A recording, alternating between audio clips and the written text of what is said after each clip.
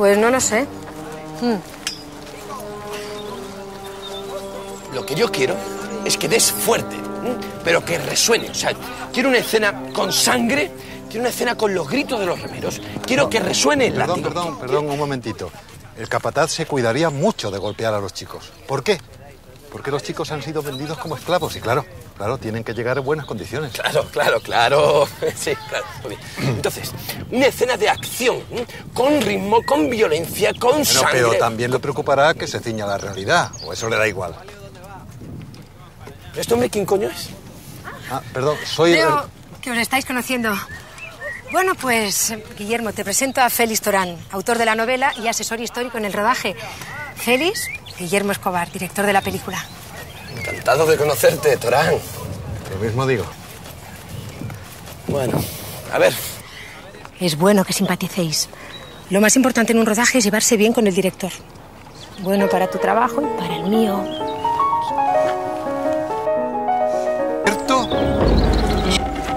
No es un desierto, esto es... Esto es un descampado, esto es una escombrera, mire. solamente veremos esa parte, ¿vale? Es lo que parece un Mire, desierto. mire, mire, mire, mire, ¿dónde se ha visto un desierto con huellas de tractor por el suelo? Mire, Pero si la gente no se fija en el suelo, hombre, se fija en lo que pasa. dígale al director que quiero hablar con él ahora mismo, además. Si no tiene el director otra cosa que hacer más que hablar con usted sobre el decorado. Vamos. Bueno,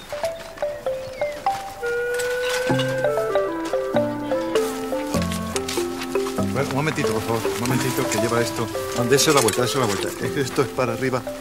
Pero póngaselo bien, esto para arriba, eso para arriba. Un momento, un momento, por favor, un momento. Pero vamos a ver, Fátima, ¿cómo puede ir con una túnica de seda por el desierto? Por Dios.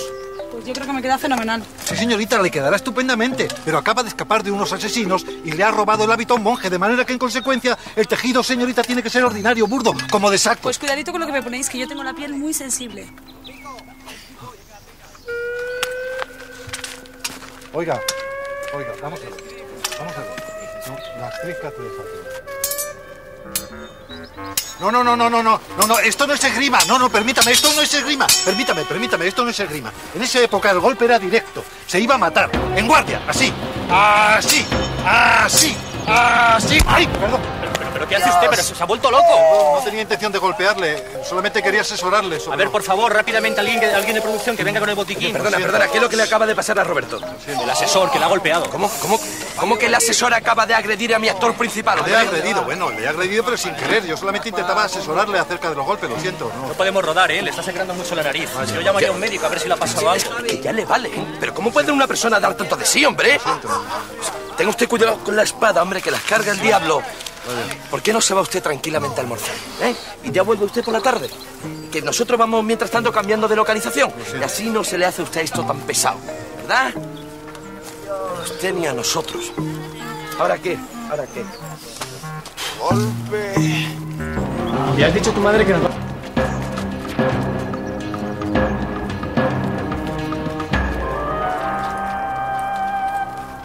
va...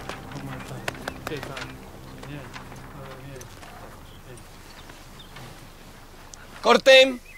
Ha sido buena. No, no, perdona, perdona, pero no ha sido buena, ¿no? En esa época los beduinos eran musulmanes y el saludo ritual musulmán no es el abrazo, hombre. Tiene que tocarse con dos dedos, corazón, boca y frente. Oiga, los beduinos que no se saludan así. ¿Pero qué te he hecho yo para que me tortures de esta manera? ¿Qué Si el director dice que ha sido buena, pues ha sido buena. Bueno, pero- Se saluden como se saluden. Pero se está faltando al rigor histórico. Hola, oiga. Mal. Vale. Cortamos 20 minutos. Muy bien, cortamos 20 minutos. ¿Ha pasado algo con Guillermo? Nada, eso es lo malo, que aquí el rigor histórico parece no importarle a nadie. Yo no sé qué pinto aquí, no sé qué pinto. En fin, venga, dejémoslo y vamos a desayunar. Félix, no puedo. He quedado con Guillermo. Pero no habíamos quedado nosotros. Sí, pero tú y yo podemos ir a desayunar cualquier otro día. Perfecto, lo que me faltaba. Lo que me faltaba. Voy a esperar a mi sobrina. Guillermo, ¿vamos a tomar algo? Sí, porque además tenemos que hablar de tu asesor. ¿Pasa algo con él? Que si pasa algo con él, que no pasa con él. Es que míralo, míralo, míralo. Es que es una mosca cojonera. Es que no para de dar el coñazo de molestar a todo el equipo. Con los datos y el rigorcito histórico, hombre. Es su trabajo. Además, él es muy perfeccionista, le gusta cuidar los detalles. ¿Es interés? ¿Por qué te importa tanto ese tío? Por nada. Bueno, mira, yo no puedo consentir que se retrase el plan de rodaje porque este hombre no pare de dar el coñazo, ¿vale? Es que no lo consiento.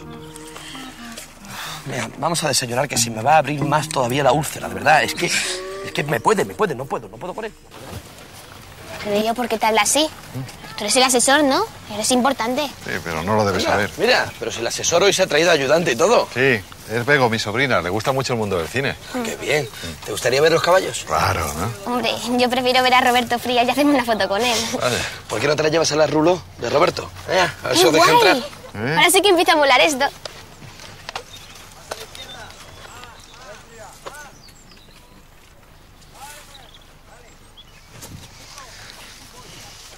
Si es que esto de los rodajes es muy aburrido si uno no está dentro.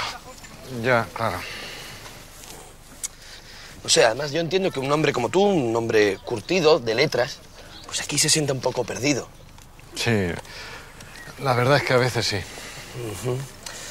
De todas maneras, yo tengo una buena solución, ¿eh, Torán?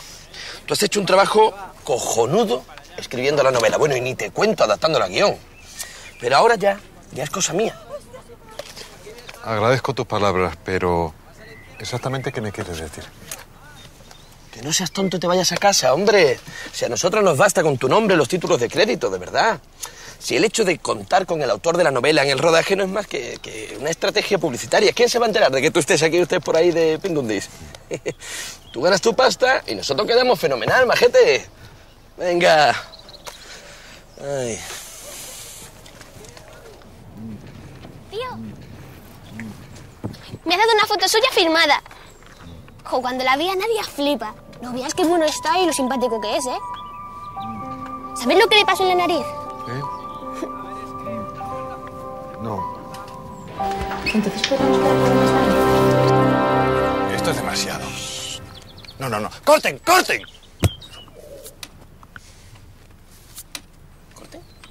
Yo acabo de oír corten. ¿Quién coño ha dicho que corten? Yo, corten. Está atando el caballo en una higuera. Una higuera en un desierto. Félix, tranquilízate. ¿Pero ¿Cómo quieres que me tranquilice? Una higuera en un desierto. Bueno, un desierto. Esto es un descampado, una escombrera donde los beduinos se lo lleven ya, abrazos, que se lo lleven. hola, como si estuvieran en la calle principal de Venga, su anda, pueblo. vamos, venga, es anda, inconcebible, señor mío. no vamos. pretenda convencerme. No pretenda convencerme. No, en serio. Yo soy el asesor histórico. O sea, este hombre, exactamente quién se ha creído que es. Déjame hablar con él, ¿eh? Pues habla con él, pero habla ya, porque como esto no se solucione, él va a tener problemas. Pero es que tú vas a tener problemas y tu editorial también te lo aseguro. tranquilo.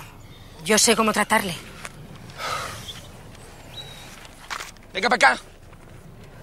Bueno, ya está bien. Quería acercar algún...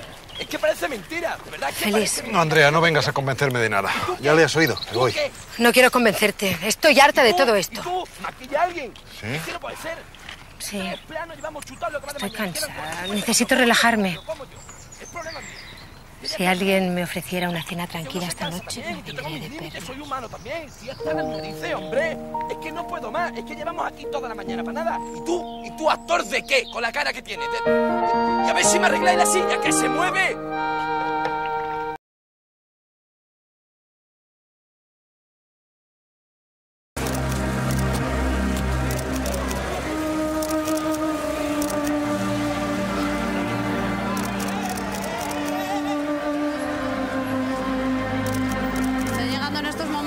Los actores de la película. Podemos ver cómo sale Roberto Frías y detrás de él Rosa Hernán. Guapísimos, están siendo piropeados por toda la gente que se arremolina, que se arremolina aquí. Y ahora vamos a ver también detrás que viene el director Guillermo Escobar. Vamos a ver si podemos hablar con Rosa. Rosa, ¿qué tal? ¿Feliz? Gracias. Y vamos a ver también podemos hablar con Guillermo. Guillermo, ¿qué tal esos primeros minutos de éxito? Bueno, pues un poco asustado con la reacción de la gente, pero en cualquier caso prefiero hablar después de la película, a. Luego nos dedicas unos minutos, ¿vale, Guillermo? Gracias, venga, hasta luego. Y vemos ahora mismo que acaba de llegar don Félix Torán, es autor de la novela, y vamos a ver si podemos hablar con él también. Vamos a hacerle alguna pregunta. Don Félix, por favor, ¿cómo se siente al ver que sus personajes han cobrado vida?